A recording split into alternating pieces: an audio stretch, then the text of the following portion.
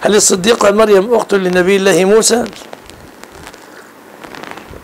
ليست أختا له ولكن كما قال النبي صلى الله عليه وسلم إنهم كانوا يسمون بأسماء أنبيائهم والصالحين منهم.